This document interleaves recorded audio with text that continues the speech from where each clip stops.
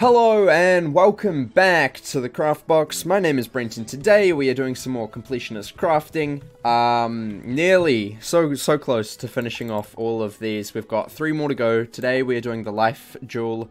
Um, really simple as with all of the jewels.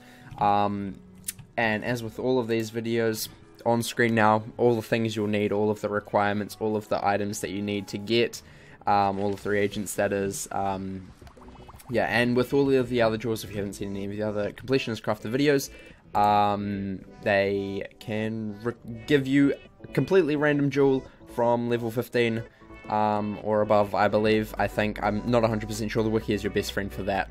Um, but there's a wide selection of jewels that you can get. Um, so yeah, let's create this boy. Boom. Um, we got the defense one, crack defense jade 5.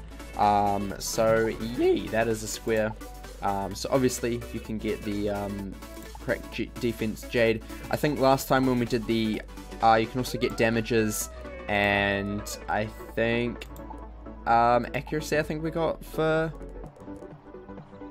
yeah I think we got accuracy for fire as well. I can't remember 100%.